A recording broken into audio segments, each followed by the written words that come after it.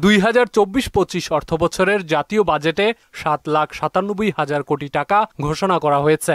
এবারের বাজেটে যেসব পণ্যের দাম বাড়ানোর প্রস্তাবনায় আনা হয়েছে, তার বেশিরভাগই এরই মধ্যে বেড়েছে। এদিকে রাজধানীর কারণ বাজারে কাঁচা বাজার সহ বিভিন্ন নিত্যপণ্যের দাম বৃদ্ধিতে ক্রেতাদের মনে অস্বস্তি বিরাজ করছে। এদিকে অর্থনীতির জটিল হিসাব নিকাশ বোঝেন না শ্রমজীবী সহ সমাজের নিম্ন আয়ের মানুষরা। বোঝেন প্রতি বছর বাজেট মানেই ব্যয়ের নতুন নতুন খাত তৈরি হওয়া। তাই বাজেট নিয়ে তাদের উৎসাহ কম বরং আতঙ্কটাই বেশি।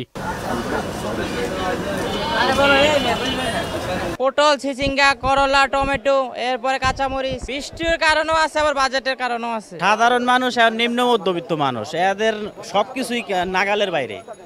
আলু চাইলের দামের থেকে বেশি দাম। আমরা কি কিনবো আর কি খাইবো? বাজেটের কারণে প্রতি বছর বিভিন্ন পণ্যের দাম বাড়ানোর পক্ষে নয় কারণ বাজারের বিক্রেতারাও। বাজার একটু বাড়তি আরই ঈদের দুই তিন দিন পর একশো পঞ্চাশ টাকা বেচি এখন বেচতে একশো সত্তর টাকা। দিন গেলে বাড়বো। স্টক করে রাখছে পঞ্চাশ ষাট টাকা কেজি কিনে রাখছে।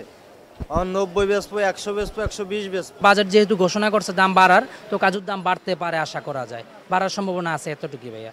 আর দাম আশা করি না বাড়লেই ভালো। কাস্টমার কিনা খাইতে পারব আমরা চাই বেচা বেশি হোক। বড় কোনো পরিবর্তন ছাড়াই দুই হাজার চব্বিশ পঁচিশ অর্থ বছরের জন্য সাত লাখ সাতানব্বই হাজার কোটি টাকার বাজেট পাশ হয়েছে রোববার গত ছয় জুন। জাতীয় সংসদে অর্থমন্ত্রী আবুল হাসান মোহাম্মদ আলী উপস্থাপনের পর রোববার এ বাজেট সংসদ সদস্যদের সর্বসম্মতিক্রমে পাশ হয়।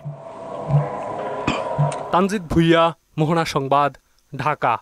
সুদবিহীন ব্যাংকিংয়ে আত্মশুদ্ধির পথ এনআরবিসি ব্যাংকের ইসলামিক ব্যাংকিং আল আমিন।